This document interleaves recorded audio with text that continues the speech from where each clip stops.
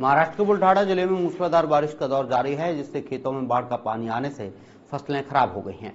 आपको बता दें, ज़िले के साखरेडा परिसर में बारिश से नदी नाले उफान पर हैं, जिसका असर कल्याण में देखने को मिला है। वहीं बारिश से भोगावती नदी खतरे के निशान से ऊपर है। कोराड़ी डैम भी ओवरफ्लो हो गया है। आपको बता दें कि सोयाबीन की फ़सल 15 से 20 दिनों में आने वाली है। ऐसे में बारिश के कारण फ़सलों को नुकसान हुआ है। वहीं किसानों का कहना है कि लाखों रुपए की लागत से खेतों में सोयाबीन की बुआई की थी और 15 या 20 दिनों में इस सोयाबीन की फ़सल को काटने का काम होना था। ऐसी बारिश के कारण किसानों की मुसीबत और बढ़ गई है। किसान ने सरकार के से मदद की अपील की है।